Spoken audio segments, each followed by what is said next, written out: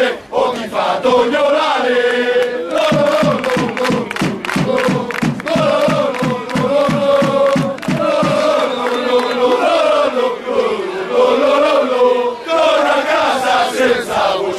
Vivo perché, vivo vivo il mondo service,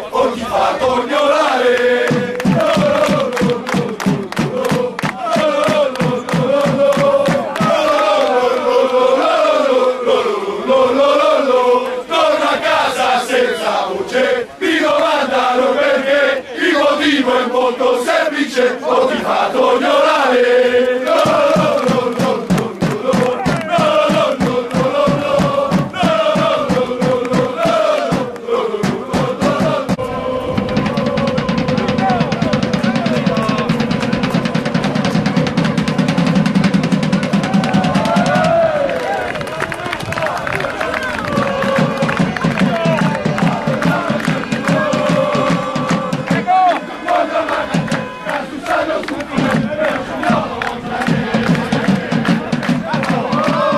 Siamo con il mister Massimo Gallo, mister è arrivato questa terza vittoria in altrettanti tre derby, oggi un'audace più forte anche del campo, della pioggia, del terreno pesante. Infatti è la prima cosa che ho chiesto ai ragazzi, l'adattabilità al, al campo e penso che la risposta è stata molto positiva.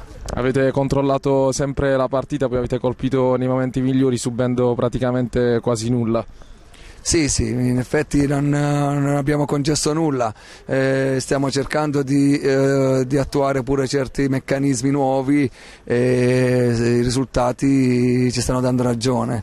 Naturalmente cercheremo di migliorare anche qualche situazione che in passato non, non aveva dato degli ottimi risultati e, e questo è il momento opportuno per eh, programmare anche per il futuro. Sì, infatti oggi sono, è sceso in campo anche Casale, insomma queste sono partite importanti anche per progettare il futuro in vista dell'eccellenza. Sì, adesso stanno facendo dei, spezzoni, però naturalmente pure loro adesso avranno la possibilità di, di esprimersi anche a, dall'inizio della partita, perché noi l'anno prossimo abbiamo il problema del, del 98, del 97 e, e dobbiamo cercare di trovare gente che corrisponde risponde ai nostri meccanismi. Naturalmente noi cercheremo di prendere sempre prima il Cerignolano, se riusciamo ad ottenere questo risultato bene, se no siamo costretti poi a vedere fuori.